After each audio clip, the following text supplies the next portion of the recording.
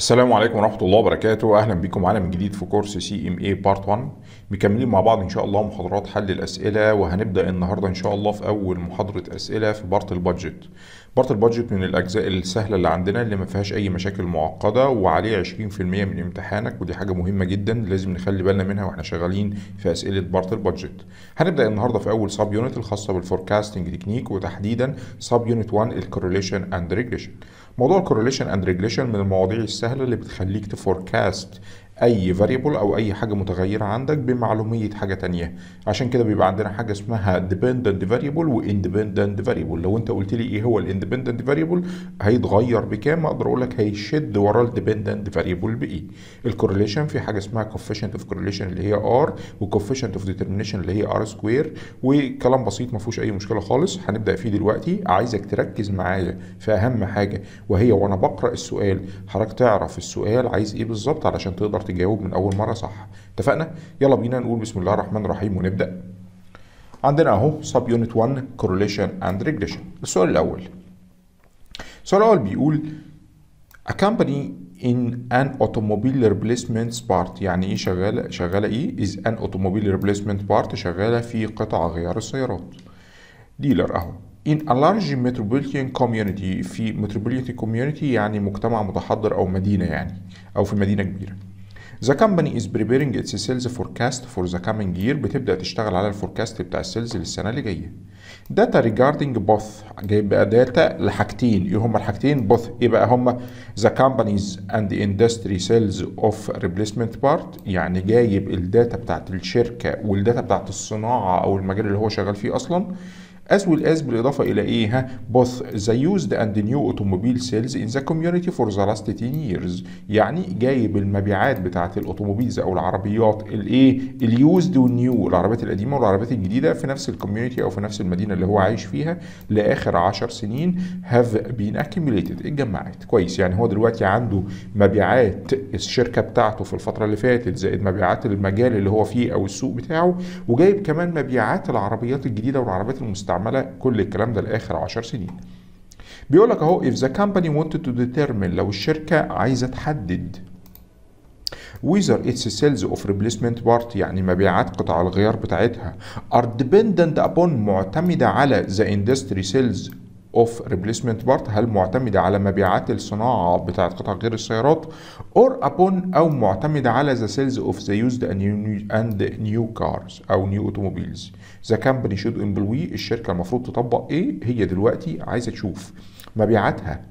Dependent upon معتمدة على مبيعات السوق بتاع قطع غيار السيارات ولا مبيعات سوق السيارات الجديدة والمستعملة. في الحالة دي لازم تستعمل القصة بتاعت ال correlation وال regression معامل الارتباط ومعادلة الانحدار علشان تبدأ تقول لك هل أنا مرتبط إن لما عربية جديدة تتباع أنا كمان هبيع قطع غيار ولا لأ؟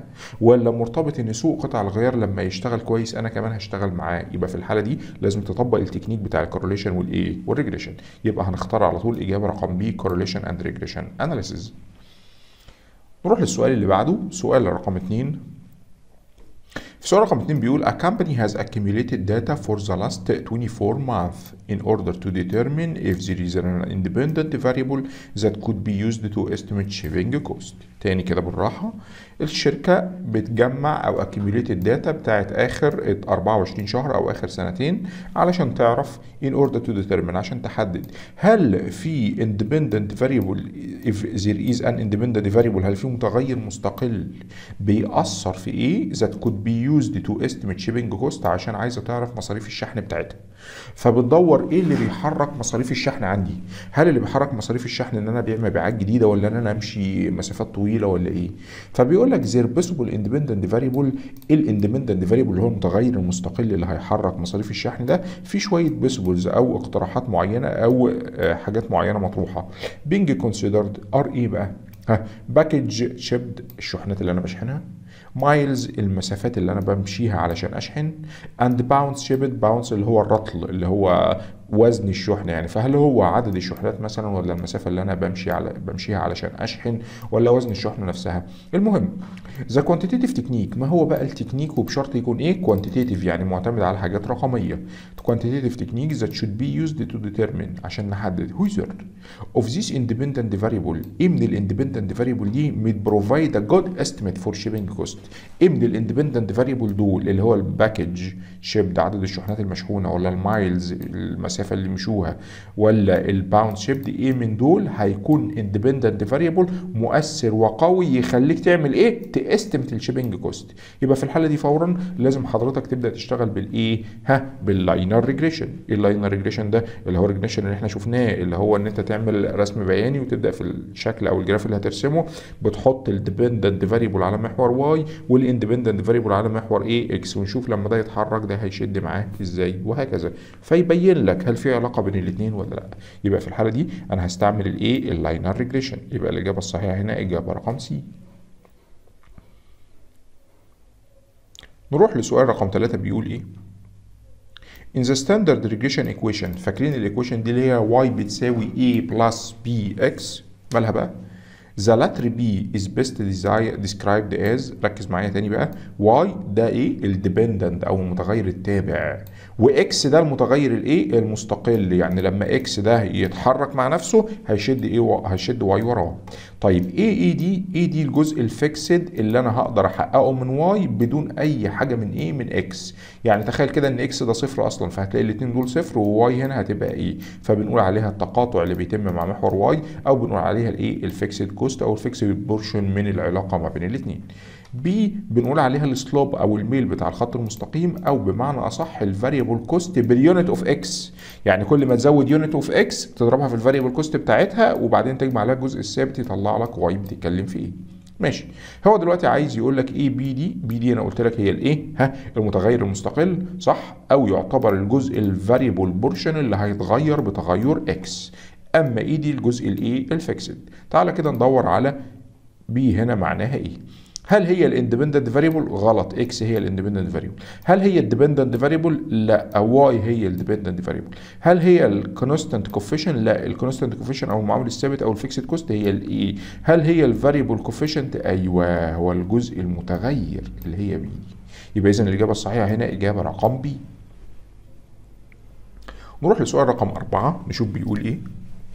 The coefficient of correlation that indicate indicate اللي بيبقى مؤشر the weakest linear association أضعف علاقة خطية between the two variables خليني بس كده أفكرك الأول إيه هو ال coefficient of correlation أو ال correlation coefficient هو معامل الارتباط كان رمزه R كان بيدل على قوة العلاقة ما بين two variables وهل هي علاقة direct طردية ولا inverse عكسية؟ وكانت قيمته بتتراوح من positive 1 إلى minus 1 كل ما تقرب ناحية ال 1 سواء positive أو negative فنقول عليها إيه؟ perfect قلت شوية نقول strong وهكذا. وحتة بقى إن هي positive أو negative فدي بتدل هي direct ولا inverse كويس؟ كل ما تقرب من ال zero كل ما العلاقة إيه تضعف سواء بتقرب من ال zero من ناحية ال negative أو من ناحية الإيه ال positive. كويس كده؟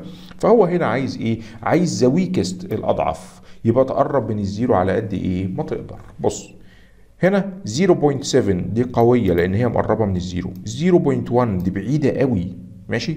0.12 خلي بالك دي 1 1 دي 1 2 يبقى إذا C أقوى من B بغض النظر بقى عن أنا ما بتكلمش على الإشارة دلوقتي ماليش دعوة بالإشارة أنا بتكلم عن مدى قربها من الصفر. 1 1 دي بتقرب من الصفر إنما 1 2 بعدت عن الصفر شوية. طيب 3 أكيد أعلى منهم كلهم. يبقى إذا أضعف واحدة فيهم هي بي ليه بي؟ اولا مالكش دعوة بالإشارة مالكش دعوة بإن هي negative ولا positive ولا الكلام ده. أنا بتكلم دلوقتي في مدى الاقتراب من الصفر. مين أقرب واحدة من الصفر؟ هي أقرب واحدة من الصفر هي إيه؟ 0.11 يبقى اذا الإجابة الصحيحة إجابة رقم B ودي the weakest أو الإيه؟ الاضعف يبقى إجابة رقم B إجابة صحيحة. السؤال رقم خمسة بيقول إيه؟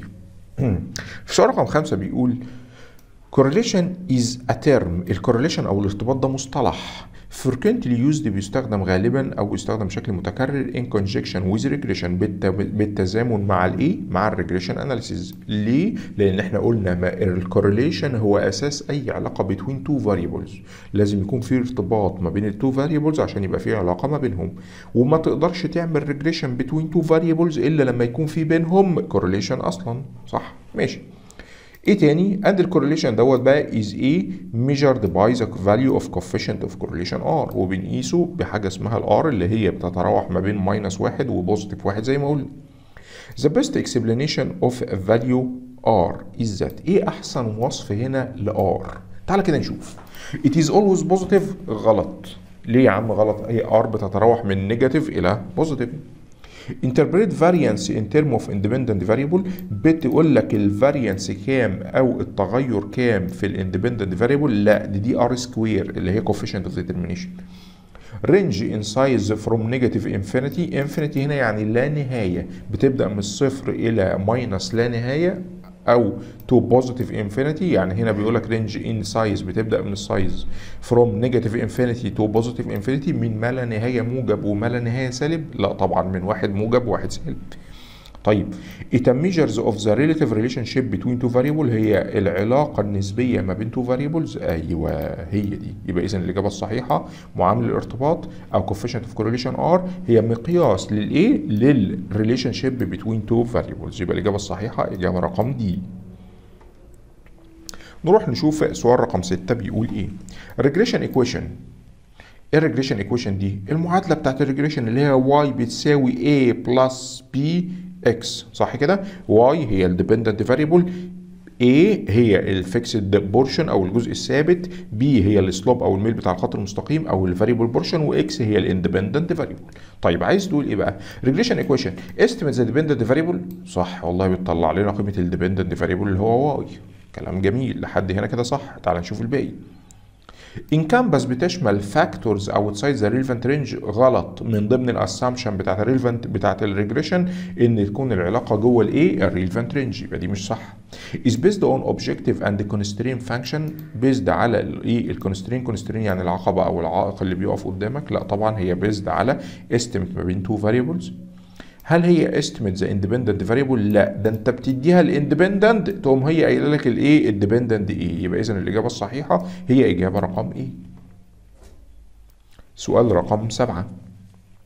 في سؤال رقم سبعة بيقول لك إيه؟ What coefficient of correlation result from the following data? يا ترى إيه ال coefficient of correlation من ال data دي؟ بص عشان تفهم السؤال ده كويس. هو مدي لك two variable واحد اسمه X وواحد اسمه إيه Y. وبيقول لك لما X بواحد Y ب 10 لما X ب 2 Y ب 8 لما X ب 3 Y ب 6 لما X ب 4 Y ب 4 لما X ب 5 Y ب 2 ومدي لك بقى الاختيارات. وعايزك تختار من دول R تختار من دول إيه؟ R أهو بيقول لك what is the coefficient of correlation اللي هو R و R دي بتبدأ من إيه؟ من negative 1 إلى positive إيه 1 تعال كده بص لهم بمجرد النظر. بص لما X كانت بواحد Y ب 10 بص لما X بقت باتنين بتزيد ها؟ لما X زادت من واحد إلى اتنين Y إيه اللي حصل لها؟ قلت من 10 إلى 8 يبقى اذا العلاقة دي شكلها علاقة عكسية صح؟ تعال كده نشوف.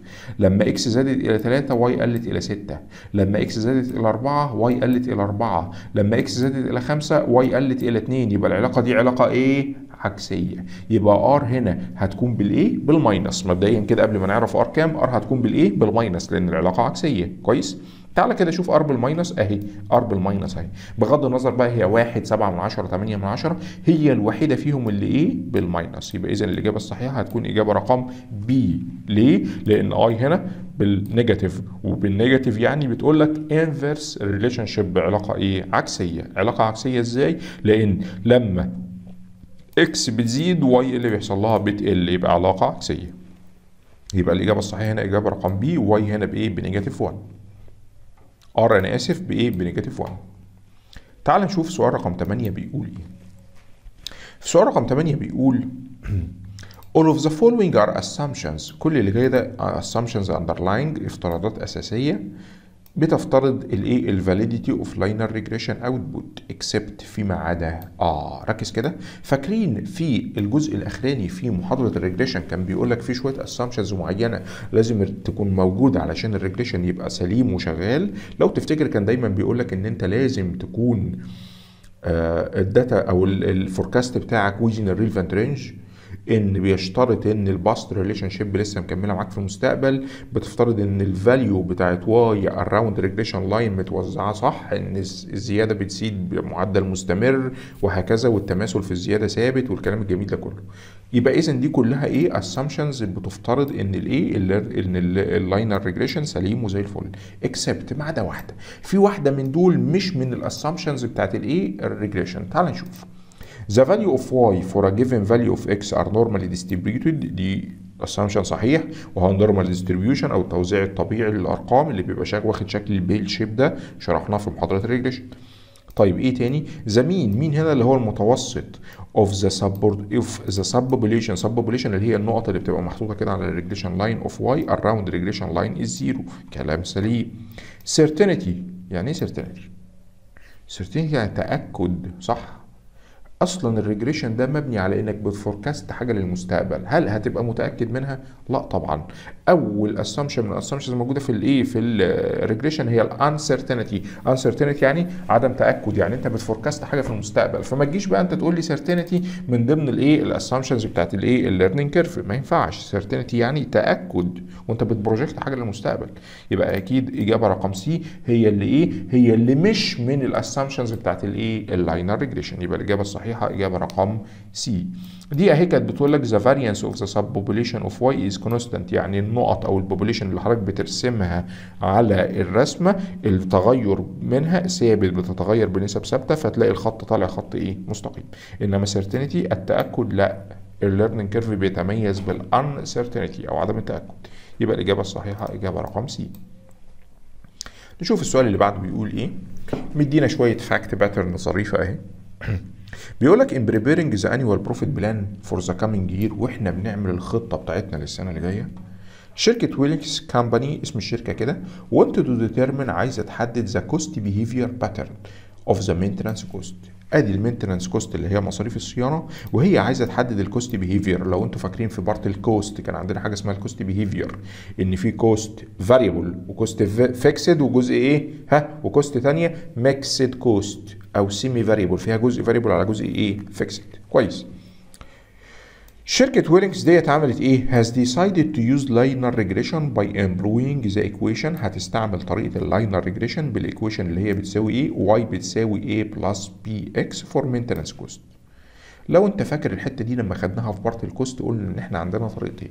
طريقة ال high and low method وهو إن أنت تشوف فين أعلى شهر وأقل شهر وتشوف الفرق بينهم وتشتغل وقال لك إن الطريقة دي مش دقيقة. أما الطريقة الدقيقة هي طريقة ال regression.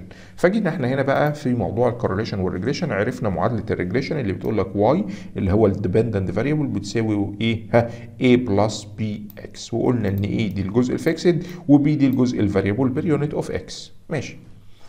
The prior year's data ال data بتاعت السنة اللي فاتت regarding maintenance hour and cost يعني جايب لك ال data اللي فيها ال hours اللي اشتغلناها وال cost اللي قدامها للصيانة. And the result of the regression analysis ونتيجة الايه ال regression analysis are given below and in the opposite column في العمود المقابل ده وتحت كده. ال data دي بتاعت الايه ال hours اللي حضرتك اشتغلتها hours of activity والايه وال maintenance cost اللي صرفتها.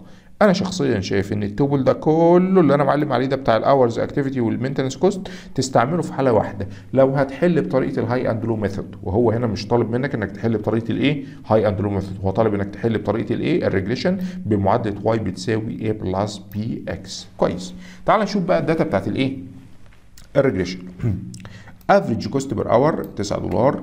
A شوف شايف A دي A دي شايفها أهي A بتساوي 684 B اللي هي الجزء ال variable كام؟ 7.288 اللي هي دي. ناقصك بس تحط لي X اللي هي الساعات بتاعت الصيانة أو ما أنا مطلع لك ال cost بتاعت y على طول. طبعا بقى مدي لك ال standard error of A و standard error of B و standard error of estimate والكلام ده ملناش دعوة بيه خالص وملوش علاقة بدراستنا. دي حاجة statistical قوي إحنا مش هنستعملها في حل الأسئلة النهائي. R square فاكرين R square يا جماعة؟ اللي هي coefficient of determination. قلنا coefficient of correlation اللي هو R لو مسكناه عملنا له square ضربناه في نفسه تربيع يعني يطلع لك إيه؟ coefficient of إيه؟ determination R square طيب ال value بتاعته كام؟ 0.2 9 9.724 ولو شفنا إن ده كان بيبقى في صورة نسبة مئوية يعني ده لو هنضربه في 100 عشان يطلع نسبة مئوية هيبقى 99.724 في المية. حلو كده؟ طيب ده كان بيعبر عن إيه؟ كان بيعبر عن مدى التغير في ال independent variable اللي هيحصل في ال dependent variable لو حصل تغير في ال independent يعني عايز يقول لك إن كام في المية تغير في ال hours بتاعت الصيانة يؤدي إلى تغير في الإيه؟ في ال maintenance ماشي. تعال نشوف السؤال عايز إيه باستخدام ال data الجميلة دي. في السؤال ده بيقول لك based upon the data derived from the regression analysis يبقى عايز حضرتك تشتغل على الداتا اللي طالعة من ال regression analysis دي. لو اشتغلنا 420 maintenance hour in the month. Would mean that هتعني إيه إن شركة ويلكس company's ال maintenance cost بتاعتها round to the nearest dollar متقربة لأقرب دولار would be budgeted at إيه هو هنا مدي لك ال X ال X هنا اللي هي الايه ال independent variable أو متغير مستقل أنت لو اشتغلت 420 ساعة maintenance hour هتصرف cost كام؟ طب ما هي ما سهله قوي. تعالى كده نشوف نعملها إزاي. المعادلة بتاعتنا بتساوي إيه؟ المعادلة بتاعتنا بتساوي Y بتساوي صح A مش كده؟ plus إيه بقى bx مش دي المعادلة بتاعتنا؟ طيب أنا النهارده عايز Y حلو كده؟ فهقول لك Y هتساوي. Y هتساوي إيه بقى. A بكام يا جماعة؟ الجزء ال fixed 684 حلو فهقول Y هنا هتساوي إيه؟ 684.65 دي كده اللي هي إيه؟ A مش كده؟ طيب و B في X بقى. يلا هات لي B في X B هنا بكام؟ ب 7 2 8 8 4 و X هو اداها لك بكام؟ ب 420 hours حلو. يبقى أنا هاجي كده وأقوم قايل إيه؟ B اللي هي 7.2884 في X اللي هي 420 بس. واجمع الكلام ده ده زائد ده. بس. تطلع 3 3745 point 87 لو أنت بقى عايز تقربها تعال نشوف هو مقربها لإيه في الاختيارات. اهي 3700 إيه 46 بص إحنا طالعين كام؟ 3740 745.7 فلو انت عايز تقرب دي شوية تطلع لك كام؟ لأقرب دولار 3746 يبقى الإجابة الصحيحة إجابة رقم D. شفت الموضوع سهل إزاي؟ أهم حاجة المعادلة بتاعتك y بتساوي a بلس bx Y دي ال dependent اللي أنا بدور عليه A هي الجزء ال fixed B هي الجزء ال variable اللي هي 7.2884 و X ده اللي هو الايه ال independent variable اتفقنا؟ يبقى اذا الإجابة الصحيحة هنا إجابة رقم D نشوف السؤال اللي بعده. نفس ال fact pattern أهي اللي مديها لنا. تعال نشوف السؤال على طول. The percentage النسبة المئوية of Winx Company's total variance التغير اللي هيحصل. That can be explained by regression equation. يا ترى دلوقتي إيه هنا ال total variance أو معدل التغير اللي هيحصل في ال dependent variable لما يحصل تغير في الإيه؟ في ال independent variable الله طب ما دي R square مش إحنا عارفين إن R square هي ال variance أو التغير في ال independent variable في ال dependent variable لو حصل تغير في ال independent variable اللي هي R square طيب R هنا square كام؟ 99.724 يعني 99.7% آه فين اهي 99 بص الرقم ده هو هو بس إيه ضرب في 100% ونقل الإشارة بتاعته إيه أو العلامة نقل العلامة العشرية هنا عشان ضرب في 100% ف 99.7% من التغير اللي هيحصل في ال independent variable هيحصل فين في ال dependent variable يبقى اذا الإجابة الصحيحة هنا إجابة رقم A؟ إن R square اللي هي دي بتساوي 99.7% نروح نشوف سؤال رقم 11 عايز إيه؟ The letter X حرف X in the standard regression equation في المعادلة بتاعتنا اللي هي بتساوي إيه y بتساوي a plus bx أهي y بتساوي a plus bx عايز يعرف x ده إيه؟ طب ما إحنا قلنا x ده هو ال independent variable اللي هيشد وراه ال dependent variable صح كده؟ يبقى اذا x هنا هي الايه هي ال independent variable طبعا y هي ال dependent ال constant coefficient هي a وال coefficient of determination لا ده مش موجود في المعادلة دي دي R square مالناش دعوة بيها. يبقى اذا x ده عبارة عن إيه؟ عن ال independent variable يبقى اذا الإجابة الصحيحة إجابة رقم A؟ نروح نشوف السؤال اللي بعده بيقول إيه. In the regression analysis which of the following correlation of coefficient عارفين correlation of coefficient اللي هو R represent بيمثل إيه؟ the strongest خلي بالك مالكش the strong the strongest الأقوى. أقوى relationship the independent and dependent variable between the independent and dependent variable طبعا إحنا عارفين إن R بتتراوح من إيه؟ ها من واحد. من positive 1 إلى إيه؟ negative 1 وكل ما قربنا ناحية الواحد كل ما العلاقة بقت strong صح كده؟ وأما تقرب ناحية الصفر كل ما العلاقة تبقى إيه؟ weak أو ضعيفة. طيب أول حاجة كده 1.0 ما ينفعش أصلا العلاقة تبقى أكتر من واحد هي دايما بتبقى أقل من واحد. طيب point صفر ده ضعيف قوي point 8 9 دي مقربة على الواحد جدا. point سبعة دي برضو مقربة على الواحد بس ال point تمانية دي أقوى من ال point سبعة. مالكش دعوة بالإشارة خالص مش عشان تقول لي دي negative ودي positive يبقى تاخد دي لا الإشارة بتدل على ها اتجاه العلاقة. هي direct ولا inverse ولكن هو طالب هنا الإيه قوة العلاقة. يبقى مدى قربها من الواحد الصحيح. يبقى إذا إجابة رقم C هي الأقوى لأن التمانية من عشرة أقرب إلى الواحد من الإيه؟ من السبعة من عشرة. يبقى الإجابة الصحيحة إجابة رقم C سؤال رقم 13 تعال نشوف 13 بيقول إيه. The internal auditor المراجع الداخلي of a bank شغال في بنك has developed a multiple regression. بيعمل ال multiple regression. ولو أنتوا فاكرين إيه هو ال multiple regression هو بيفرق عن ال simple regression إن هو في other factors كتير غير ال simple regression بيبقى معتمد على x واحدة. لا ال multiple regression بيبقى فيه كذا x. يعني فيه كذا independent variable بيأثر في الايه في independent variable. فالراجل ده بيعمل multiple regression model that has been used for number of years بيستعمل فيه عدد السنوات أو كذا سنة معينة to estimate the amount of interest income from commercial loan عشان يتنبأ بيه. هيجي لهم إيراد قد إيه من الفوائد لما يدوا للناس commercial loans أو قروض تجارية. During the current year خلال السنة دي the auditor applies a model طبق الموديل بتاع اللي هو عمله بتاع الايه؟ بتاع ال regression and discover that واكتشف إن R بكام إن R square value خلي بالك دي مش R 2 دي دي R square يعني اللي هي coefficient of determination ها؟ دي R square واكتشف إن R square value has decreased dramatically dramatically يعني انخفضت بشكل درامي مثير كده للانتباه. إيه ده؟ هي R square منخفضة قوي كده للسنة دي.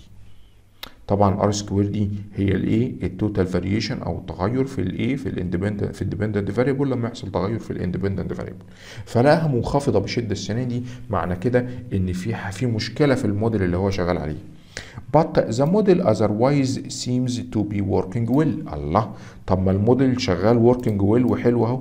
امال في إيه. Which of the following conclusion are justified by the change? عايز يعرف إيه الاستنتاج أو إيه ال conclusion اللي يبقى justified أو يبرر التغير اللي حصل ده.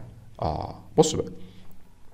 الراجل هنا بيتكلم على إن فجأة لقى R square انخفضت بشدة وده معناها إن ال interest income بقى مش معتمد قوي في مبلغه على إن هو يدي loans كتير أو loans قليلة. إيه ده؟ أمال معتمد على إيه؟ هو في factor تانية ممكن تأثر في ال interest income بخلاف إن أنا أدي قرض أو ما أديش؟ طبعا في ظروف اقتصادية كتيرة جدا ممكن تخلي البنك المركزي يرفع سعر الفايدة ولو البنك المركزي رفع سعر الفايدة بنفس حجم القروض اللي أنت شغال عليها السنة اللي فاتت ما غيرتهاش هتبص تلاقي نفسك عامل interest income أعلى. صح. يبقى اذا في factors جديدة لازم تتاخد معاك في الاعتبار جوه ال regression analysis ده. ما ينفعش بس تشتغل على إيه؟ حجم الإيه؟ ال commercial loans تبقى مؤثر في الإيه؟ في ال interest income لا في حاجات تانية ممكن تأثر في ال interest income بخلاف ال commercial loans اتفقنا؟ تعال بقى ندور على ال conclusion ده هنا. هل the auditor should calculate the coefficient of correlation إن ال auditor لازم يحسب ال coefficient of correlation. طب ما هو حسبه. وبعد ما حسبه عملوا square فطلع له R square عملش حاجة regression analysis is no longer an appropriate technique لا هو appropriate technique ومناسب وكل حاجة بدليل ان هو قال لك هنا ان ال model otherwise seems to working well لأن الموديول شغال كويس طيب هل في some new factors أيوه بقى في some new factors in not included in the models are بتتسبب إن ال interest income هيتغير. زي مثلا إن سعر العملة يقل أو يزيد إن البنك المركزي يرفع سعر الفايدة أو ينزله. ال factors دي كلها مش موجودة فين؟ في الموديل اللي هو عامله في ال learning في ال في ال linear regression أو في ال regression أو ال multiple regression اللي هو عمله. وبالتالي يبقى في الحالة ديت إجابة رقم C هي الإجابة الصحيحة إن في factor تانية موجودة بتأثر في ارتفاع ال interest income مش جوه الإيه؟ الموديل بتاع ال regression. يبقى الإجابة الصحيحة هنا إجابة رقم C نروح نشوف السؤال اللي بعده. مدينا fact pattern ظريفه أهي ونشوف بيقول إيه. Alpha Company produce several different products شركة الفا بتطلع كذا منتج. And is making plans بتعمل خطه بقى وخطط دلوقتي for the introduction of new product بتخطط ان هي تدخل منتج جديد which it will sell for a 6 دولار per unit هيكون سعر بيعه 6 دولار per unit The following estimates have been made عملت estimate بقى for إيه manufacturing cost on إيه 100000 units to be produced the first year. عملت estimate على ال manufacturing cost علشان تنتج 100000 unit فعلشان تنتج 100000 unit هتصرف direct material 500000 وهتصرف direct labor 40000 عبارة عن إيه ال 40000 دول هيكون ال labor rate per hour 4 دولار per hour خلي بالك كده material و labor ما اتكلمناش في ال overhead تعال بقى نتكلم في ال overhead بيقول لك هنا overhead cost have not been established for new product ما عملش overhead cost للإيه؟ لل new product إمال هيحمله على أساس إيه؟ But monthly data راح خد ال data الشهرية القديمة on the total production and overhead cost for past 24 months have been analyzed using a linear regression. ما اشتغلش على المنتج الجديد عشان يحسب له هيد ولكن راح خد ال data بتاعت آخر 24 شهر اللي كان بينتجها في المنتجات القديمة وشاف العلاقة ما بين ال production الإنتاج والإيه وال overhead cost حلو قوي the result below النتيجه اللي تحت دي were derived for the simple regression طلع الايه النتائج ديت من ال simple regression provide the basis for overhead cost estimate for the new product راح عمل القصة بتاعت ال simple regression دي للسنتين اللي فاتوا علشان يستنتج منهم بعد كده ال overhead للمنتج الجديد هيبقى عامل إزاي. خلي بالك بيقول لك Y هو ال dependent variable اللي هو ال factory overhead يعني وال independent variable X هو ال direct labor hour يعني عايز يقول لك لو زودت في ال labor hour ال overhead هيزيد. ليه؟ لأن ده ال independent اللي هيشد وراه ال dependent اللي هو الايه ال Y اللي هو ال factory overhead ماشي. computed values Y intercept تقاطع محور Y بكام؟ ب 40000 عايز يضحك عليك ها؟ Y intercept ده اللي هو حرف ال A مش كده؟ مش إحنا قايلين إنه A Y المعادلة بتاعتنا Y بتساوي A plus X Y intercept تقاطع محور Y هو ال A أو الجزء الثابت. Coefficient of independent variable 2.10 ال coefficient بتاع ال independent variable اللي هي ال B مش إحنا قلنا ال independent هو ال X كنا دايما المعادلة بتاعتنا Y بتساوي A plus B X أهي دي ال B ده الجزء المتغير أو المعامل التغير في X coefficient of correlation دي اللي هي R طبعا R قوية جدا واخد بالك؟ مقربة على الواحد الصحيح. وده بيدل إن في علاقة كبيرة جدا ما بين ال labor hour وما بين ال overhead standard error ملناش دعوة بيه. standard error ملناش دعوة بيه. ال mean برضو ملناش إيه؟ دعوة بيه. طيب. تعال نشوف إيه تاني مديهولك ها؟ Coefficient of determination دي اللي هي R square عارف يعني إيه R square يعني مسك ال R دي ضربها في نفسها مرتين. لو مش مصدقني تعال نجرب كده في حتة فاضية. R بكام؟ أهي point تسعة خمسة تلاتة في نفسها تاني. أهو point تسعة خمسة تلاتة. بص طالعة كام؟ طالعة point تسعة واحد اللي هي الإيه؟ اللي هي تعتبر دي تقريبا. فدي ال R square واللي فوق دي اللي هي الإيه؟ ال R تمام. وأدي ال B وأدي ال A تعالى بقى نشوف هيعمل إيه. بيقول لك هنا what percentage of the variation in alpha's overhead cost is explained by the independent variable? ما هو نسبة التغير في ال cost في ال over cost اللي هي ال dependent variable لو حصل تغير في ال independent variable طب ما R square ما هو كده بيتكلم عن نسبة التغير في ال independent لو حصل تغير في ال dependent أو نسبة تغير في في ال dependent اللي هو ال Y لو حصل تغير في ال independent اللي هو ال X يبقى كده بيسأل على إيه؟ R square طب ما R square قدامك إيه؟ Coefficient of determination.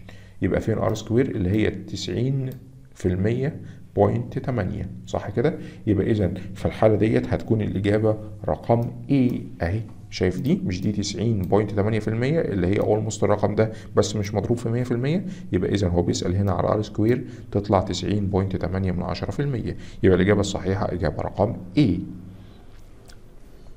طيب السؤال اللي بعده؟ نفس ال givens زي ما هي. كويس. انزل على الايه؟ السؤال على طول. سؤال 15 الفاس total overhead cost يا ترى ال overhead cost هنا اللي هو إيه؟ Y. اتفقنا؟ ماشي. for an estimated activity level of 20 direct labor hour 20000 يبقى اذا لو حضرتك حطيت في ال X هنا 20000 labor hour يا ترى ال overhead cost هتطلع إزاي؟ ومعاك ال A اللي هي Y intercept ومعاك ال B اللي هي الايه ال coefficient of independent variable أو ميل الخط المستقيم بتاعنا اللي هي 2.10 طيب ما إحنا عارفين الكلام ده؟ أهو تعالى كده نحط ال data قدامنا. عايزين X 20000 hours تعالى نشوف. دي المعادلة بتاعتنا بتساوي إيه؟ A plus y بتساوي a plus bx حلو قوي ال a هنا قال لك y intercept 40000 كويس. B في x. B بكام؟ 2.10 في x اللي هو الساعات بتاعتك. قال لك هنا الساعات كام؟ عايز 20000 direct labor hour حلو كده. هتروح حضرتك قايل 20000 بس. تجمع بقى بعد كده. تطلع 82000 وده معناه إن لو حضرتك اشتغلت 20000 ساعة labor hour هيكون ال Y بتاعتك أو ال overhead cost بكام؟ ب 82000 فين هنا 82000 أهي إجابة رقم B شفت سؤال سهل إزاي؟ نروح لسؤال رقم 16 في سؤال رقم 16 بيقول إيه؟ The managers of the assembly department of a company في مدير مدير قسم ال assembly أو مدير قسم التجميع والتقفيل في مصنع معين أو في شركة معينة would like to estimate عايز يعمل estimate أو تقدير للإيه؟ the fixed and variable component of the department cost. آه. عايز يمسك ال cost بتاعت ال department بتاعه ويقسمها إلى جزء إيه؟ variable وجزء fixed. حلو قوي To do so وعلشان يعمل كده the manager has collected information جمع معلومات on a total cost مجموع ال cost مع بعض اللي هي variable على fixed. And output والايه والمخرجات أو النواتج اللي هو طلعها أو ال units اللي أنتجها في آخر 24 شهر. To estimate the fixed and the variable component of the total cost وعلشان يطلع ال variable component وال fixed component. في الحالة دي إحنا قلنا حضرتك قدامك طريقتين تفصل بيهم الجزء ال variable عن ال fixed ال high and low method والإيه؟ وال regression analysis صح كده؟ طيب هل ال high and low method موجودة هنا؟ لا يبقى تختار على طول الإيه؟ ال regression analysis يبقى اذا الإجابة الصحيحة إجابة رقم A هستعمل ال regression analysis من خلال المعادلة بتاعته اللي هي اسمها إيه؟ Y بتساوي a plus bx A ده هيبقى الايه الجزء ال fixed و B هيكون الجزء الايه ها ال variable و X ده ال cost لما هتتغير هت... أو ال units لما هتتغير هتغير معاه في ال cost اللي هي Y يبقى الإجابة الصحيحة إجابة رقم إيه سؤال رقم 17 بيقول لك إيه في سؤال 17 in determining cost behavior in business لما حضرتك تيجي تشتغل بقى على ال cost behavior حلو؟ يعني عايز تعرف قد إيه variable وقد إيه fixed. ماشي. The cost function is often expressed as y بتساوي a plus bx which one of the following يعني عايز يقول لك ال cost function بتاعتك إن أنت كده هتشتغل بال regression analysis بالمعادلة بتاعت y بتساوي a plus bx which one of the following cost estimation method إيه من طرق ال cost estimation method هنا should not be used in estimating a fixed and variable cost for equation. لا يمكن استخدامها بص بيقول لك إيه should not be used وانت بت estimate الجزء ال fixed والجزء الايه ال variable طبعا إحنا عندنا طريقتين طريقة الايه ال simple regression وطريقة الايه ها ال high and low method. الطريقة اللي مش طريقة هنا هي الايه ال multiple regression ال multiple regression بيكون فيه أكتر من إيه أكتر من x صح؟ ولو المعادلة عندك فيها أكتر من x هيبقى فيه أكتر من جزء أو أكتر من معامل variable بيغير ال cost عندك وبالتالي مش هتقدر تفصل الجزء ال variable عن الجزء الايه ال fixed يبقى إذا إيه هنا اللي should not be used هو الايه ال multiple regression لأن ال multiple regression بيكون فيه كذا b وكذا x كذا b وكذا x بيغيروا في ال cost. وفي الحالة دي مش هتقدر تفصل ما بين الايه ال variable والايه وال fixed يبقى إيه هنا اللي should not be used هو الايه ال multiple regression اجابة رقم D سؤال رقم 18 بيقول إيه؟ For cost estimation لما تيجي تعمل estimate لل cost ال simple regression differ from multiple regression في إيه؟ ال simple regression في one independent variable. اللي هي x واحدة. إنما ال multiple regression في كذا x صح كده؟ طيب. بيقول لك for the estimation أهو لما تيجي تعمل estimation لل cost ال simple regression differs بيختلف عن الايه ال multiple regression in that simple regression use only أكيد هيقول لك ال simple regression use only one independent variable ماشي. simple regression use only one dependent لا. simple regression على فكرة هو آه في one dependent آه بس مش ده الفرق اللي بينه وبين الايه ال multiple أنا عايز الحاجة اللي مفرقة بينه وبين الايه ال multiple ما ده في one dependent وده في one dependent طيب في dependent variable. While multiple regression can use both dependent و independent لا طبعا ده في dependent variable وده في dependent variable. وده في independent وده في independent. طيب ال simple regression only use one dependent variable صح. While بينما ال multiple regression use more than one independent variable أيوه هي دي الإجابة الصح إجابة رقم C. بص كده دي بيقول لك 1 dependent لا الف... طب ما ده في 1 dependent وده في 1 dependent الفكرة كلها إن الايه ال x يا جماعة اللي هي ال independent variable المتغير المستقل واحد بس متغير مستقل موجود في ال simple regression بينما ال multiple regression في اي more than independent variable في أكتر من واحد. يبقى الإجابة الصحيحة إجابة رقم C. السؤال اللي بعده سؤال رقم 19 في سؤال رقم 19 بيقول إيه بقى a manufacturer مصنع develop بايه بيطور developed the following multiple regression equation عمل multiple regression equation utilizing many years دخل فيها كذا data data بتاعت كذا سنة many years data and used it to module or to estimate the cost of its product. ومدي لك المعادلة الجميلة دي. بص بقى. السؤال ده بيعلمنا حاجة رائعة جدا. إيه هي؟ إنك ما تحفظش يعني إيه ما تحفظش؟ يعني ما تروحش تقول لي y بتساوي a plus bx طب لو غيرت لك الرموز يعني إيه مثلا سميتها fixed cost أو FC و x سميتها L أو M أو مش عارف إيه تيتو لا لازم تبقى مركز كويس قوي. بص المعادلة ال cost اللي هي مين؟ ال y بتساوي ال fixed cost أو الجزء الثابت where FC اللي هي ال fixed cost يبقى دي معناها إيه؟ a كويس كده؟ plus FL يبقى غالبا دي b في x plus b كمان في x يعني كل واحدة من دول ال ده يعتبر إيه؟ حاجة حاجة independent مستقلة. أهو labor rate per hour كويس؟ وحاطط لك جنبه الإيه؟ ال variable portion بتاعه. وبعدين M هنا هي ال material cost per pound يعني الخامات. فإذا ده multiple regression a هنا بتساوي؟ ال fixed cost وعندنا في المعادلة كان بيقول لك b 1 x 1 اللي هم a و L و b 2 x 2 اللي هي b دي و M دي اتفقنا؟ ده كده multiple إيه regression السؤال هنا بقى. بيقول لك which of the which of the following changes إيه من التغيرات اللي جاية دي would have the greatest impact on إيه invalidating the result of this model. آه. خلي بالك. هو هنا عايز يقول لك إيه هنا؟ التغيرات اللي هتحصل اللي هيكون لها تأثير شديد في invalidating the result of this model. ركز بقى في الكلمة دي. invalidate يعني تخلي الموديل غير صالح. يعني يقول لك لا الموديل ده مطلع أرقام غريبة سيبك منه خالص وما تستعملش ال multiple regression فعايز يقول لك إيه هنا اللي يبوظ المعادلة دي؟ اللي يفسد عليك المعادلة دي ويخليها غير صالحة للتنبؤ. اتفقنا؟ تعال نشوف. Significant reduction in factory overhead which are a component of fixed cost? لا طبعا. عارف ليه؟ لو حصل أي تغير في ال fixed cost دي هيبان في المعادلة والنتيجة هتبان قدامي وهستفيد بيها. صح. طيب لو حصل أي renegotiation of the union contract calling for much higher wages يعني حصل تفاوض مع اتحاد العمال بتاعهم ورفعوا أجر الموظفين. في الحالة دي لو رفعت أجر الموظفين ال دي هتتغير معاك فهتأثر في ال cost فهتحس بقيمتها فعلا. فهتحس لحد دلوقتي إن النتائج بتطلع إيه؟ حساسة للتغير وكلام جميل قوي. Large drop in material cost as a result of purchasing the material from foreign source. حصل. حصل إن أنت ال material cost انخفضت لأنك بتستوردها من بره مثلا. وبالتالي لو ال material ام دي انخفضت فالام دي هتتأثر فهتأثر معاك على ال cost فهتطلع لك ناتج مظبوط.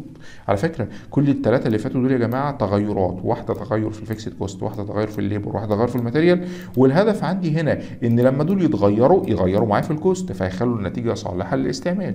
طيب بص بقى. Significant change in labor productivity.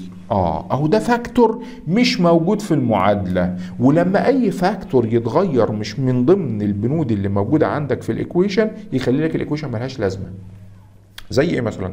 هنا بيقول لك significant change in labor productivity. Labor productivity هنا يعني إنتاجية العمال. يعني أنا متعود إن العامل بينتج ال unit في 2 hours مثلا. يعني ال unit الواحدة بتاخد ساعتين عمالة. حلو؟ هل ال factor ده موجود في المعادلة؟ لا. اللي موجود عندي هنا ال labor cost وال labor cost محسوبة على أساس إن العامل بياخد ساعتين في ال unit. ماذا لو العامل خد 3 ساعات؟ تعرف إيه اللي هيحصل؟ هتشتغل هنا عادي جدا على أساس إن هم ساعتين وهتطلع لك نتيجة fake ملهاش لازمة. Invalidating. آه. بتخلي ال result غير صالحة. يبقى عايزين نثبت لنفسنا معلومة مهمة. إن أي تغير في factor مش من ضمن ال factors اللي موجودة هنا يخلي لك المعادلة ملهاش أي لازمة ويخليها invalid غير صالحة للاستعمال. يبقى اذا change in labor productivity هي دي الإجابة الإيه؟ الصحيحة. هي دي الحاجة اللي مش موجودة هنا. العامل بياخد كام ساعة في ال units عشان ينتجها؟ دي مش موجودة هنا. وطالما هي مش موجودة هنا هتخلي لك الناتج إيه؟ invalid أو غير صالح. يبقى الإجابة الصحيحة. إجابة رقم دي سؤال رقم 20 السؤال رقم 20 بيقول in order to analyze sales علشان تحلل ال sales as a function of advertising expense كناتج من نواتج تغير مصاريف الدعاية والإعلان فهو عايز يقول لك هنا لو صرفت advertising expense ال sales هتتغير. حلو.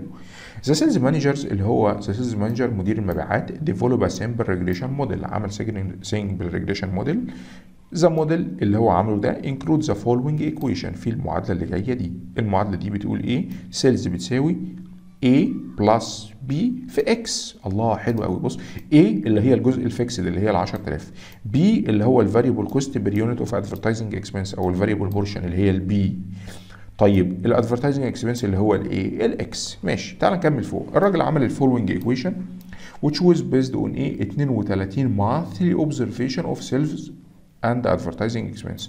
عمل ملاحظات بتاعت 32 شهر لما صرف advertising expense كام؟ ال sales عملت إيه؟ A related coefficient of correlation of 9 من 10 طبعا coefficient of correlation هنا اللي هو R 9 من 10 which is إن العلاقة ما بينهم تقدر تقول عليها perfect. ليه؟ لأن هي مقربة من الواحد. ماشي. السؤال أدي المعادلة قدامك أهي. بيقول لك إيه؟ If the advertising expense in one month amount 1000 يعني لو حطينا 1000 مكان دي. قال لك the related point estimate of sales. يا ترى السيلز هتبقى كام؟ مش محتاجة 1000 في 2 ونص ب 2500 زائد 10000 تطلع معاك 12500 سهلة. أهي يا عم. تعالى بص كده. ال A بكام هنا؟ الجزء الثابت ب 10000 حلو كده؟ كويس. B في X بكام؟ B باتنين ونص. في X هو قايل لك عليها بكام هنا؟ ألف. أهي. في ألف تطلع ألفين وخمسمية.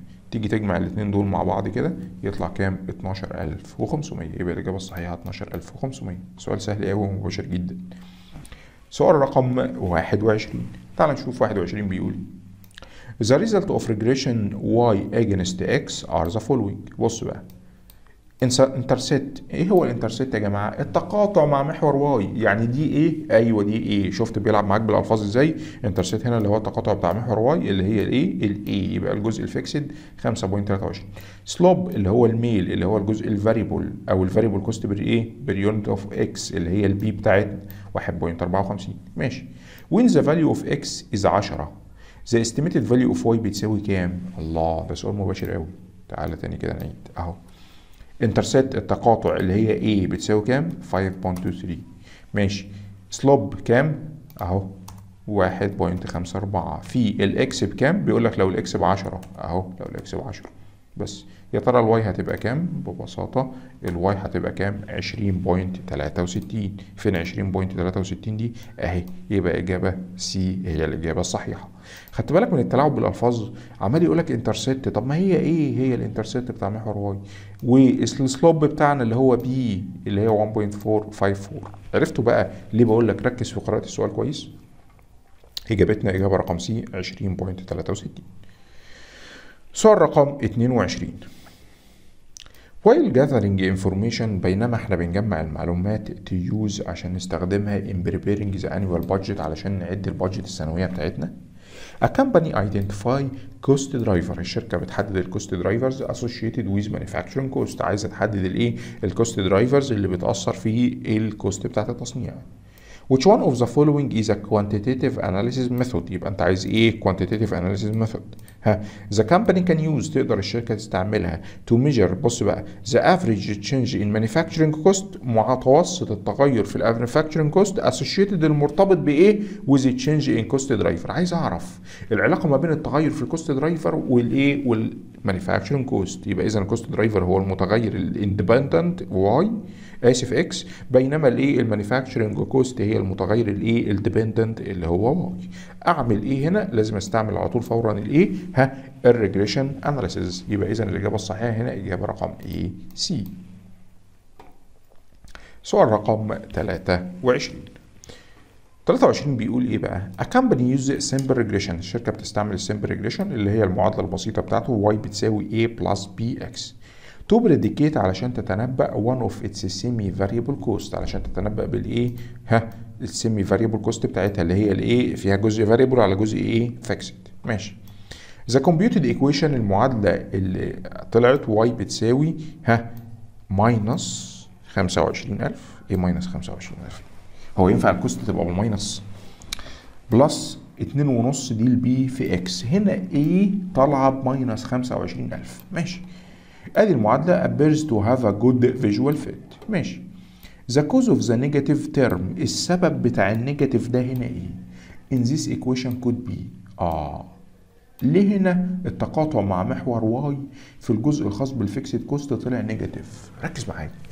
فاكر إحنا لما كنا بندرس ال assumptions أو الافتراضات اللي قائم عليها ال regression وقلنا إن من ضمن الافتراضات إن لازم ال projection أو التنبؤ اللي إحنا شغالين عليه أو العلاقة ما بين ال two variables تكون within the relevant range داخل المدى أو الطاقة الإنتاجية بتاعتنا. أما لو اشتغلنا على طاقة إنتاجية أعلى خارج ال relevant range هتبص تلاقي y بتتقاطع مع محور إيه ها؟ إيه الخط بيتقاطع مع محور y في ال negative. فاكرين الحتة دي؟ يبقى اذا السبب هنا في ال negative intersect مع محور y هو السبب إيه؟ إن أنا هنا خرجت بره الإيه؟ ال relevant range وأنا ب project الايه أو بتنبأ بال cost بتاعتي. يبقى هل السبب هنا هل the zero level of output is outside the relevant range؟ آه. هي دي بقى ليه؟ لأن قال لك هنا إن طالما أنت خرجت بره ال relevant range يبقى السبب هنا إيه؟ إن أنا هدي لك تقاطع minus مع محور y. طب هل too many outliers في شواذ كتير جدا أو نقط شاذة included in the data طول ما هي جوه ال relevant range ما يطلعش تقاطع بال minus أبدا.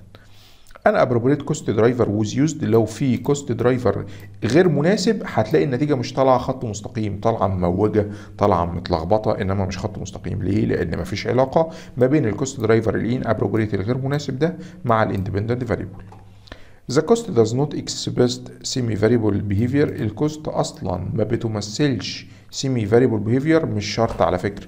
لا ممكن يكون طالع منها جزء variable وجزء fixed وده مش دليل ال minus. أنا عايز الدليل ورا الايه ورا ال minus. ليه؟ لأن هو بيقول لك the cause of negative term السبب بتاع الجزء الايه ال minus ده يبقى إن أنا هنا خرجت outside الايه ال relevant range يبقى الإجابة الصحيحة هي إجابة رقم A سؤال رقم 24 A single product company يعني شركة بتنتج منتج واحد. Use regression بتستعمل موضوع ال regression ده to predict one of its factory overhead. عشان تتنبأ بالايه ال factory overhead كوست with material used as independent variable. يبقى هنا هو بيستعمل ال material كأنها إيه؟ independent. حلو. يعني ال x بتاعته هنا في المعادلة بتاعته هي الايه هي ال material. حلو قوي The regression equation is as follow بص ال regression هنا equation بتقول إيه؟ Y بتساوي 542000 دي اللي هي ال a أو الجزء ال fixed أما ده الجزء الايه ال variable اللي هي 0.0000253 كل دي علامة عشرية مضروبة في ال x في الآخر. حلو قوي based on the r square وطبقا ل r square اللي هي coefficient of determination مالها بقى؟ Management has determined that this model captures significant portion of relationship. يعني الموديول ده حلو جدا وبيقول لك إن لو حصل أي تغير في x هيحصل تغير شديد جدا. فين ها في y. طبقا ل r square. حلو قوي عايز يعرف بقى the behavior of this company's factory overhead cost ال overhead cost هنا اللي هي الايه ال y عايز يعرف السلوك بتاع ال y هنا with respect to units of finished goods produced. طبقا لل finished goods اللي هي إيه؟ هينتجها في الآخر. السؤال ببساطة شديدة. أول بلدي كده الراجل ده عنده الجزء ال fixed اللي هي ال fixed overhead ال 542000 وعنده ال material cost اللي هي ال X وعايز يعرف ال unit of finished product في الآخر اللي هي ال Y أو ال cost of finished product هتتأثر بتغير ال X ولا مش هتتغير بتغير تتأثر بتغير ال X ولو ما تأثرتش بتغير ال X طب ما كده ال overhead ده هيكون إيه؟ fixed صح؟ ليه؟ تغير ما تغير في ال material ال cost تأثيرها ثابت على ال finished product يبقى ده يعتبر إيه؟ fixed overhead أعرفها إزاي؟ بص كده ركز. شايف كمية الإصفار الرهيبة دي؟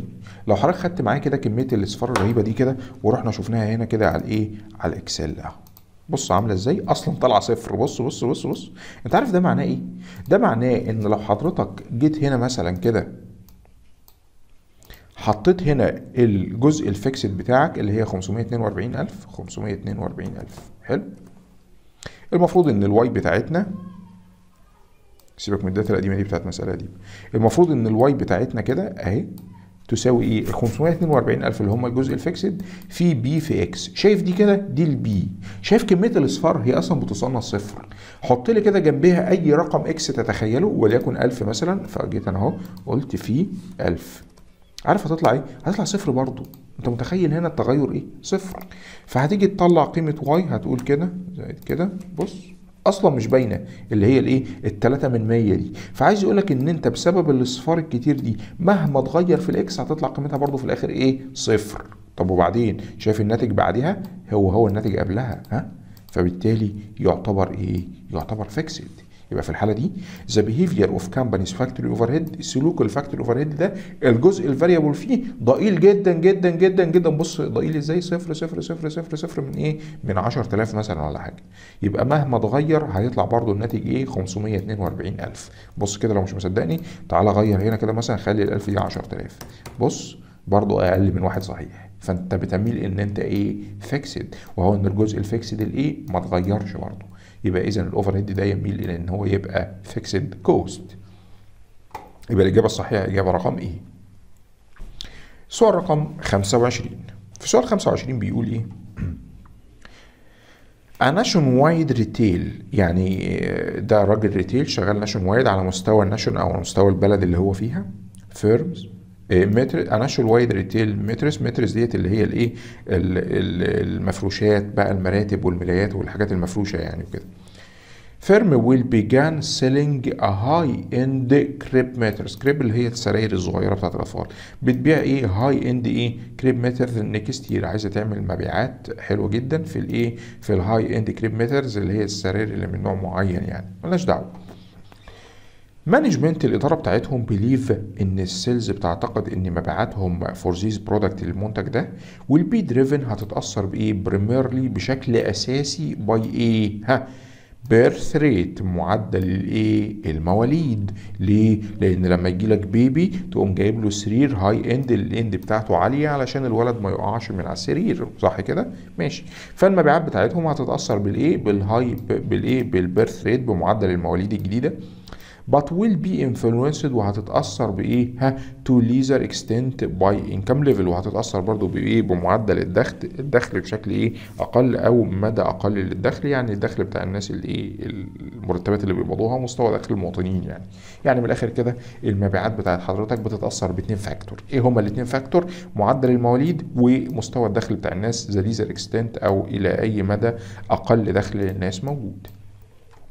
The best method to use to predict next year sales. أنا دلوقتي عايز طريقة أ predict أو أتنبأ بيها بس بال sales بتاعت السنة اللي جاية يعني within two variables أو باستخدام إيه؟ two independent variable. يبقى في الحالة دي أنا محتاج الإيه ال multiple regression لأن ال simple regression هياخد variable واحد بس اللي هو يا إما ال birth rate معدل المواليد يا إما ال income level ال income level اللي هو مستوى دخل الناس. أما ال multiple regression يقدر ياخد لك الاثنين مع بعض في equation واحدة. يبقى اذا الإجابة الصحيحة هنا إجابة رقم C لأن ال dependent variable بتاعي اللي هو ال sales بيتغير أو بيتأثر باثنين independent variable اللي هم ال birth rate معدل المواليد والايه وال income level يبقى الإجابة الصحيحه إجابة رقم C multiple regression سؤال رقم 26 في سؤال رقم 26 بيقول إيه؟ cleaning company شركة تنظيف بتشتغل في النظافة is evaluating the cost of clean standard office. عايزة إيه؟ تعمل estimate لل cost لتنظيف واحد مكتب أو standard office مكتب واحد يعني. the controller اللي شغال في الشركة دي done a linear regression عمل ال linear regression of the إيه بقى hours spent cleaning various office. شاف عدد الساعات اللي بتستخدم في أكتر من office وربطها بإيه؟ بال total cost ال total cost بقى بتاعته اللي هي الإيه؟ ال labor أجر العامل اللي بينظف وال supplies الحاجات الأدوات اللي بيستعملها و transportation والنقل والانتقال. for each office clean لكل مكتب هيروحوا ينظفوه. The regression analysis yield the following information شايف ال information ظريفة إزاي؟ بص بتقول لك إيه؟ y بتساوي. إيه ده؟ بص جاب لك ال a الناحية التانية. إحنا فاهمين مش حافظين. أنا واخد إن المعادلة بتساوي y بتساوي a plus bx طب ما أنا ممكن أقول لك y بتساوي bx plus a هتفرق؟ لا طبعا. فجاب لك ال a هنا اللي هي الجزء ال fixed وأدي b هنا اللي هي 25 وحط له أنت أي x بقى يقول لك ال y بكام. ماشي. y هي ال total cost of clean an office اللي هو ال dependent variable و x هو ال independent the hour spent in cleaning a office لو اشتغلت hours أكتر ال cost تزيد معاك أكتر. كلام جميل. ماشي. هنا what is the best description إيه هنا أفضل وصف. توصف بيه الايه ال cost of cleaning office based on the regression analysis تعال نقرأ. The cost is 100 per hour to clean an office. 100 per hour يعني عايز يقول لك 25 في ساعة واحدة ب 25 plus 75 تبقى ال cost per hour 1 دولار غلط. ليه؟ لأن عندك جزء fixed شايف الجزء ال fixed ده؟ هيتغير. هيفضل ثابت. أنا آسف الجزء ال fixed ده هيفضل ثابت. فلو حضرتك حطيت لي هنا كده ساعتين هتقول ساعتين في 25 ب 50 plus 75 يبقى 125 صح؟ طب كده ال cost بتاعت الساعتين 125 تبقى ال cost بتاعت الساعة 100 ما ينفعش لأن الجزء ده ثابت. أو ال 75 دي ثابته ماشي. B there is 25 dollar of fixed cost and 75 variable cost per hour. اعكس. لا في 75 fixed cost و25 إيه variable per hour. يبقى دي غلط. ماشي. there is a 25 of variable cost per hour آه في 25 variable cost per الايه per ال x الواحدة اللي هي ال hours ماشي. and 75 of fixed cost to clean an office و75 fixed cost صح. يبقى اذا الإجابة رقم C هي الإجابة الايه الصحيحة. بص كده D the cost 25 dollar per hour ده ده ال variable بس. كان المفروض تقول لي ال variable cost per hour إنما هو ما قالش. يبقى اذا الإجابة رقم C هي الإجابة الايه الصح. نروح نشوف سؤال رقم 27 عايز إيه؟ سؤال 27 بيقول a company use a regression analysis in which monthly advertising expense are used to predicate predicate monthly product sales. هي الشركة دي بتشتغل بال regression analysis علشان تستخدم ال advertising expense في إن هي ت predicate أو تتنبأ بحجم المبيعات. ماشي. Both in millions of dollar الاتنين بالأرقام بالمليون يعني. The result show النتيجة بينت لنا إيه بقى؟ A regression to coefficient of the independent variable to equal إيه؟ 8 من 10 This coefficient value indicate إحنا عارفين ان المعادلة بتاعتنا اللي هي y بتساوي a plus bx صح كده؟ إن ال a ده الجزء ال fixed بينما ال b هي ال variable cost بال unit of x صح كده؟ فهو هنا بيقول لك ال a بيقول لك ال regression coefficient of the independent variable هي كام؟ 8 من 10 يبقى يقصد هنا كده إن ال a إن ال b بكام؟ ب 8 من 10 ماشي. فده معناه إيه؟ هل معناه إن on average في المتوسط كده every additional dollar of advertising result in 8 من 10 of additional sales؟ كلام صحيح. ليه بقى؟ لأن كل ما هتزود هنا آه واحد x الواحد x ده هيتضرب في الايه؟ في الثمانية من عشرة دي صح كده؟ وبالتالي يبقى كل additional dollar of advertising ناتج عنه إيه؟ 8 من 10 additional sales يبقى اذا إجابة رقم A؟ إجابة صحيحة. تعالى كده بص ل B advertising is not a good predictor إن التنبؤ. باستخدام الدعاية والإعلان is not good predictor مش حاجة جيدة إن أنا أتنبأ بيها في ال sales لا طبعا دي حاجة جيدة جدا ده ال coefficient of correlation 8 من 10 يا راجل ده مقرب على الواحد الصحيح يعني علاقة قوية جدا فما تقوليش إن ال coefficient is so small لا طبعا.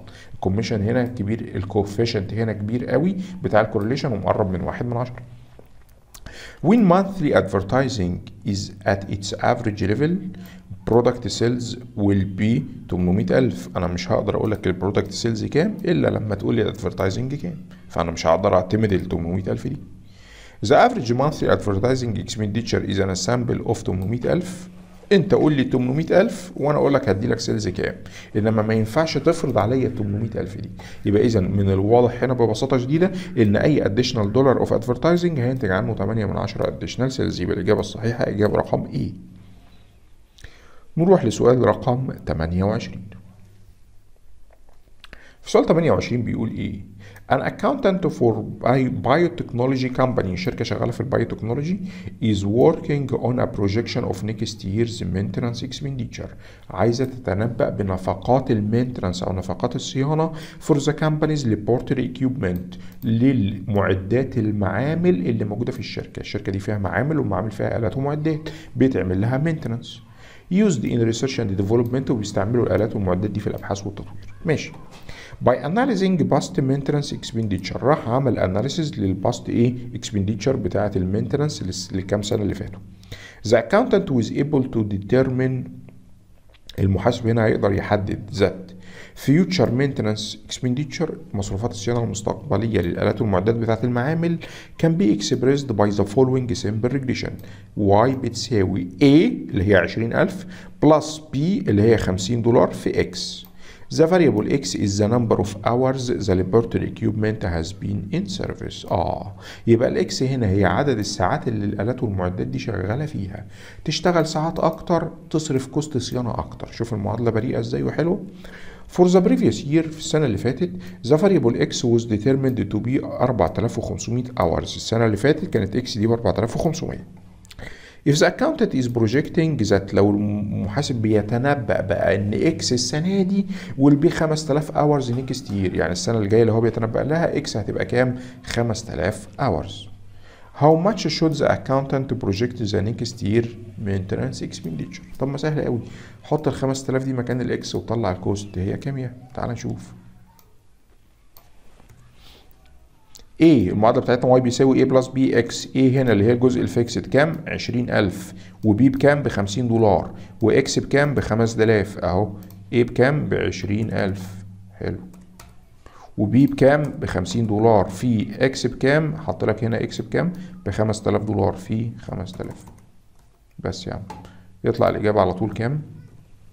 270000 إجابة رقم دي سهلة يبقى إذا الإجابة الصحيحة هنا إجابة رقم دي سؤال رقم 29 An electronic company شركة بتشتغل في الإلكترونيات has developed a regression model for forecast quarterly sales عشان نتنبأ بالمبيعات الربع سنوية. The model explain the relationship between the company's sales and the amount of its spend on marketing activity. يعني الموديل اللي هم عملوه ال regression بيقول لك إن في relationship أو علاقة ما بين المبيعات وما بين ال marketing التسويق هتعمل تسويق أكتر هتبيع أكتر ماشي The regression equation for the model is expressed below آدي المعادلة S بتساوي 3 M في 150 ألف. طبعا واضحة جدا إن S دي هي ال y هي ال dependent variable و3 ديت هي ال b مش ال a دي ال b مضروبة في ال x اللي هي ال marketing وآدي 150 ألف اللي هي ال a أو التقاطع بتاع محور y يعني ال fixed cost أو ال fixed portion of sales S هي ال sales و M هي ال dollar amount spent on marketing السؤال هنا بقى if the company has forecasted إن هي عايزة تبيع sales ب 189 ألف for the next quarter يبقى what amount is planning to spend on marketing آه in the next quarter. أصرف marketing كام عشان أعمل sales ب 189 ألف؟ تعالى كده نشوف. أهو. المعادلة بتاعتنا y بتساوي a plus bx حلو كده؟ أهي. y بتساوي a plus أهو. Y بتساوي a plus bx صح كده؟ مش دي المعادلة بتاعتنا؟ ماشي. Y بكام؟ هو بيقول لك y هنا ال sales أنا عايز أبيع مبيعات بكام ب 189000 حلو. a هنا بكام يا جماعة؟ a هنا ب 150000 أنت معاك 150000 جاهزين هتبيعهم من غير حاجة. كويس؟ بعد كده x هنا بكام؟ مش عارف ما دي اللي أنا بدور عليها. طب ال b بكام؟ البي بتلاتة. صح؟ يبقى اذا هقول لك إيه؟ 3 x بس. طلع لي قيمه ال x يا عم هتلاقي الموضوع سهل قوي. حضرتك هتعمل إيه؟ هتقوم منزل ال 3 x كده زي ما هي وبعدين قبل اللي يساوي هتقوم ماسك دي ال 150000 مطلعها بإشارة عكسية بره فهتقول 189000 ناقص الايه ال 150000 تطلع لك كام؟ 39000 صح؟ يبقى إذا هنا x بتساوي إيه؟ إكس بتساوي آه 39000 على التلاتة يبقى x بكام؟ ب 13000 يبقى حضرتك لو صرفت marketing ب 13000 تقدر تحقق المبيعات أم كام؟ 189000 زي ما انت شايف كده نفس المعادلة بتاعتنا بس المرة دي ادالك ال y وطلب منك الايه ال x كلام سهل ظريف ما فيهوش مشكلة. الإجابة الصحيحة هي إجابة رقم إيه أصرف 13000 marketing علشان أحقق sales بكام؟ ب 189000 أعتقد موضوع ال ال ال coefficient of correlation والقصة بتاعت ال correlation وال regression موضوع سهل قوي قوي. يعني أنا شايف ال ال الأسئلة كلها بتدور حوالين ثلاث حاجات. المعادلة بتاعتنا y بتساوي a plus bx نفهمها نقدر نحل كويس جدا. R اللي هو ال coefficient of correlation والنسبة بتاعته بتتراوح من positive 1 إلى negative 1 و R square اللي هو إيه؟ coefficient of determination اللي بيقول لك قد إيه variation في في ال independent variable هيحصل له في ال dependent variable أو هي R square لو انت فاهم الثلاثه دول كويس جدا هتقدر تحل أي مسألة على ال correlation وال regression بسهولة. أتمنى تكون المحاضرة ما كانتش طويلة بس كان لازم نخلص الأسئلة بتاعته كلها مرة واحدة. وأشوفكم على خير إن شاء الله في الجزء الخاص بعد كده بقى بالايه بال learning curve وال expected value وبقية الايه الجزء الخاص بتاع ال forecasting technique ونتقابل على خير. والسلام عليكم ورحمة الله وبركاته.